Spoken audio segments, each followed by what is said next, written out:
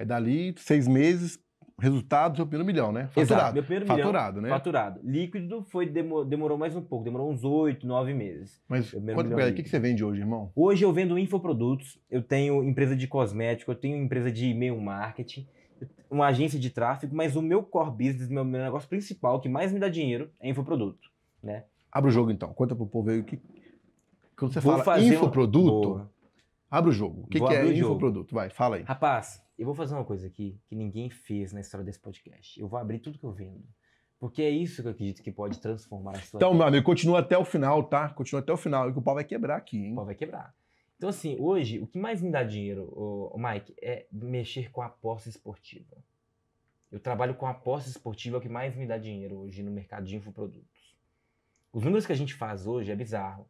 E aí, o que, que eu comecei a perceber? Eu comecei a perceber que depois que eu fui afiliado ali, virei produtor, de que ganha o jogo na internet quem tem controle sobre o custo por aquisição e quem controla a recorrência. Porque se você só joga sobre custo por aquisição, você uma hora ou outra vai acabar tendo um jogo que não vai ter previsibilidade, você vai ficar insustentável. Porque o os custos cada vez vão ficar mais altos, né? O Facebook cada vez vai ficar mais caro, o Google vai ficar cada vez mais caro, então você precisa ter um jogo onde você consiga adquirir um cliente aqui e conseguir fazer uma venda de um outro produto para ele em algum momento. Né? Você tem que, tem que ter essa visão de fazer uma venda agora, mas depois conseguir vender um outro produto para esse mesmo cliente. Então foi isso que mudou o meu jogo, Mike. Hoje você então tem, tem produto de aposta esportiva, que você vende de um curso, um grupo VIP, né, no um caso. curso, um, um eu vendo um curso de aposta esportiva, onde eu ensino o cara, onde eu mostro para ele que é possível ele ganhar dinheiro com X mercado. E aí, pra você ter ideia, o meu, a meu segundo produto, é o produto que eu vendo para ter uma, uma recorrência. Calma, tá, galera? Que é só é um produto que ele tá falando, É. tá? Calma, que tem muita coisa na esteira, viu? Exatamente. Então, o produto que eu faço a segunda venda, aí sim é um grupo de sinais.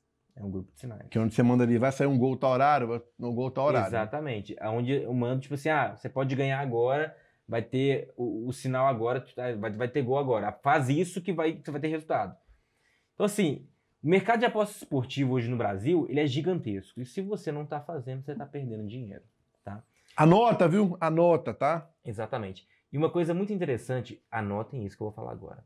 Que é um grande insight que eu, depois de muito tempo, depois de gastar dinheiro com mentoria, com curso, eu peguei essa, esse insight, que é o quê?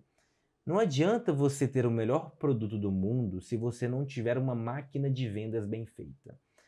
Toda empresa que tem muita escala, ela tem, ela tem duas, duas frentes: produto e máquina de vendas.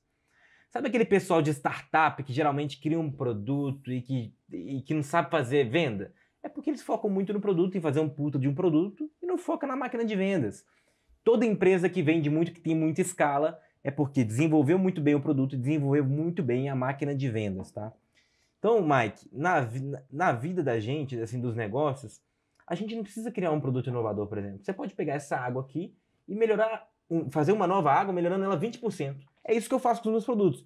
Eu já pego o que existe. Você não inventa moda. Feijão com arroz moda. e melhora feijão com aí. arroz e melhoro 20% e boa. Pô, fiz. Campanha de anúncios campanha de foda. anúncio, Faz uma VSLzinha, que é hoje como a gente mais vende. O que é essa. VSL? Explica pra galera o que é VSL. VSL basicamente é um vídeo de vendas, é o famoso vídeo sales letter, né? Que é um vídeo de vendas, é como se fosse um filme que ele é usado para qualificar o lead, é, para comprar o seu produto. Então assim, qualquer pessoa que te fale hoje, ah, eu faço X grana no mercado.